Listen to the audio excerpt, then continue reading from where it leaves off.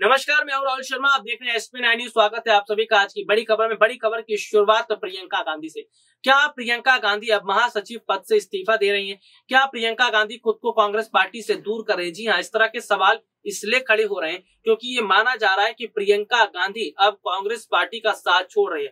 पाँच राज्यों में कांग्रेस पार्टी को करारी हार मिली। पाँच राज्यों में कांग्रेस पार्टी को जिस तरह हार का सामना करना पड़ा, इसका साफ़ मतलब है कि कांग्रेस पार्टी का जो भविष्य है वो खतरे में। पाँच राज्यों में जनता ने प्रियंका गांधी को पूरी तरह नकार दिया। पाँच राज्यों में जनता ने जिस तरह कांग्रेस पार्टी को नकारा है, इसके बाद से ये माना जा रहा है कि बहुत बड़े हद तक कहीं ना कहीं चीज़ें बदल रही हैं। प्रियंका गांधी को ऐसा लग रहा है, राहुल और सोनिया गांधी को ऐसा लग रहा है कि अब ज़रूरत पड़ गई है कि अब उन्हें पार्टी से दूर हो जाना चाहिए। अब देखना होगा कि क्या प्रियंका गांधी अपने पद से इस्तीफा देती है और कितना बड़ा बदलाव कांग्रेस पार्टी में होता नज़र आएगा और सोनिया गांधी अब क्या बड़ी बैठकें करेंगी आने वाले समय के चुनाव को लेकर ये वक्त तय करेगा। आज के लिए इतना ही। आपसे फिर दोबारा मुलाकात होगी। तब तक ले जा दीजिए नमस्कार।